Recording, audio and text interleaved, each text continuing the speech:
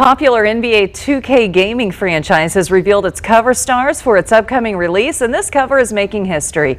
Candace Parker becomes the first female basketball player to ever land on the cover of NBA 2K.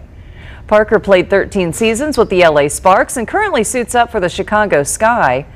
Scott, can you believe it's NBA 2K22 now? No, that It's seems set- like a typo. Yeah, it's set to be released September 10th.